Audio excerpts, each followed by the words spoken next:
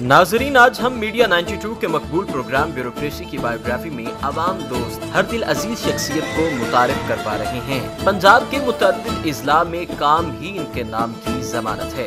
Additional director general Punjab food authority Safdar Hussain Virk जिनकी बेहतरीन खिदमत का एतराफ हुकूमत पंजाब मुतद बार कर चुकी है। रमज़ान बाजारों को बेहतरीन तरीके ऐसी मुनद करने आरोप बहावलपुर डिवीज़न का बेहतरीन असिस्टेंट कमिश्नर करार दिया गया। सांगला हिल में खातन के खेलों को फरोग दिया, बतौर एसी शालीमार मरदम शुमारी का बेहतरीन अंदाज में इनका और महसूलत की रिकॉर्ड वसूली की। एसी सिटी लाहौर के फराइज अंजाम देते हुए गैर कानूनी कब्जाकारों ऐसी अरबों की कमर्शल और ज़रिए राज़ी और म्यानी साहब कब्रस्तान की दो सौ केनाल ज़मीन बाजियाब करवाई। बतौर ए डी सी जी बेहतरीन निगरानी आरोप डेंगू केस गुजशत साल की नस्बत कम हुए। लाहौर में कोरोना वायरस के मरीजों के लिए करंतना सेंटर और सैंपलिंग के बेहतरीन इंतज़ाम किए। गुजरावाला के गाँव नौशहरा बिरका में पैदा होने वाले सफदर हुसैन बिरक ने इब्तदाई तालीम गुजरावाला, जबकि पंजाब यूनिवर्सिटी से एलएलबी किया। 2007 में पीएमएस पास किया। उनका कहना है कि उन्होंने मुकाबले का इम्तहान अपनी कौम की खिदमत के लिए पास किया है और वो इंतहाई लगन से इस पर काम चल रहे रहेंगे